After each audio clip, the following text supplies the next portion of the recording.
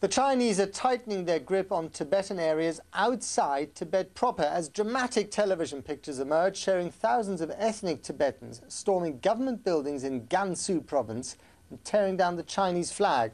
There are also reports of huge Chinese troop movements across western China and towards the border with Tibet. It all adds up to a public relations nightmare for the Chinese government trying to put its best face forward ahead of the Beijing Olympics this summer.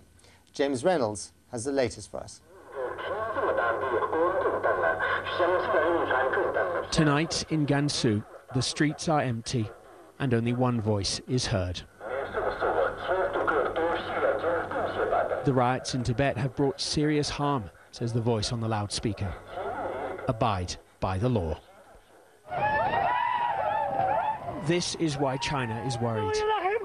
On Tuesday, Tibetans stormed a town in southern Gansu as if it was the Middle Ages. These pictures were filmed by a Canadian TV crew. They show the protesters tearing up the Chinese flag and then raising the Tibetan flag. This is what we see this morning when we come into Gansu.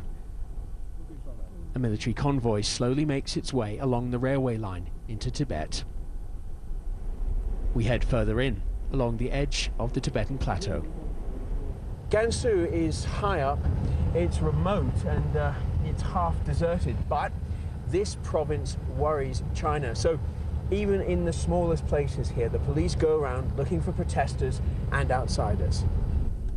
At dusk, we reach the town of Hezuo. Only one man dares to walk on the main road. We can't film much more than this.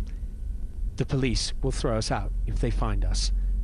China's fighting its enemy, and it doesn't want anyone to watch. James Reynolds, BBC News, Gansu. You're watching BBC World News, still ahead on this